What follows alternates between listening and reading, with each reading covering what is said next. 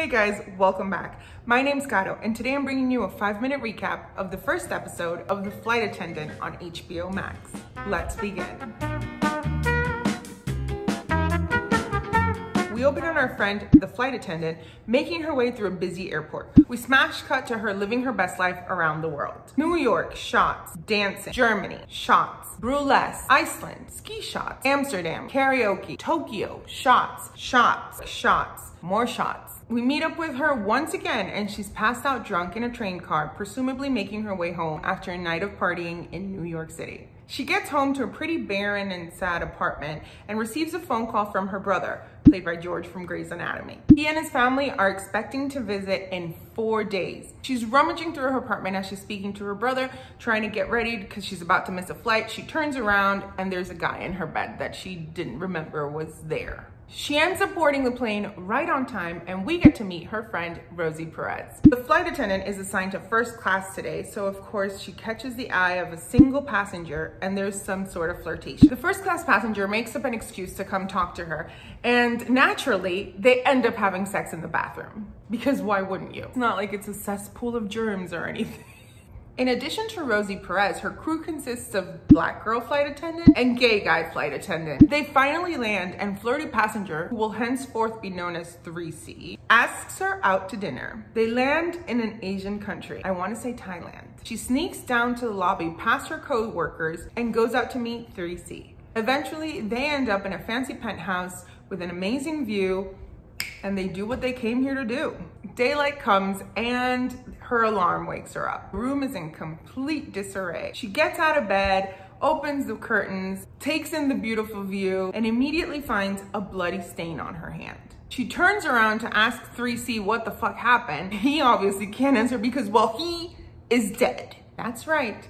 He was lying next to her in a puddle of blood. She picks up the hotel phone and dials the lobby, leaving a bloody fingerprint in the process. She comes to her senses, hangs up the phone, and calls her friend in New York City instead. She asks her if Amanda Knox called the cops when her friend was found murdered in Italy. Her friend jokes that you definitely do not want to get arrested in a place like Bangkok. The friend gets a phone call on some shady flip phone and tells her that she has to go and wishes her safe travels home.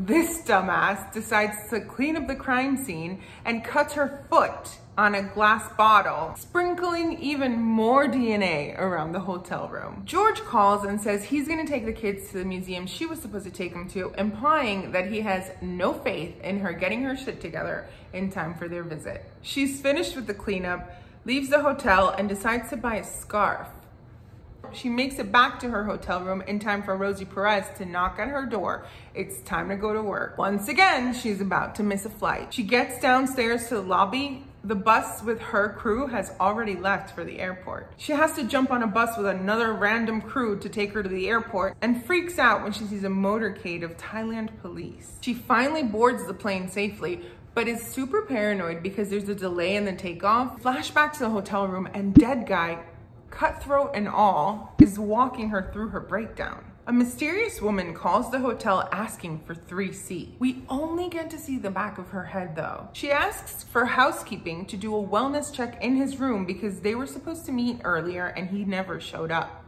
Of course, the housekeeper walks in and screams bloody murder when she finds the corpse. The entire flight crew tease the flight attendant about going out with 3C the night before, but she denies the entire thing.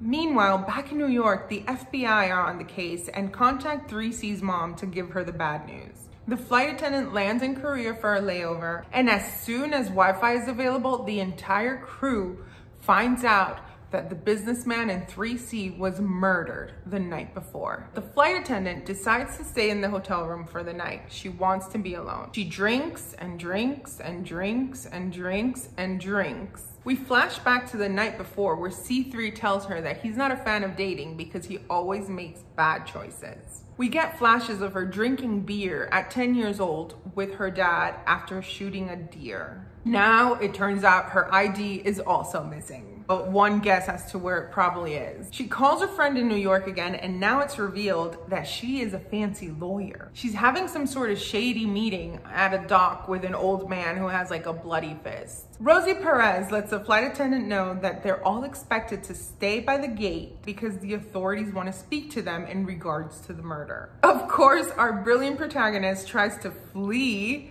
and runs through the airport trying to escape, but TSA foils her plans. The FBI interviews the flight crew and all those shady bitches tell them that the flight attendant took care of and heavily flirted with 3C. Finally, it's the flight attendant's turn. The agents ask her if she ever saw 3C outside of the airport. She denies it. 3C pops up in her subconscious and we flash back to them at dinner the night of the murder. Turns out there was another woman at the table with them, but her face is blurred, so we don't know who it is. Who is she? The flight attendant doesn't know. Did she kill him?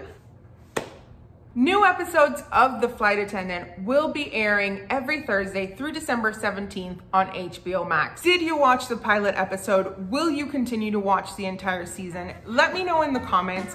For now, like, subscribe, follow, share, drink some water. Until I see you next time.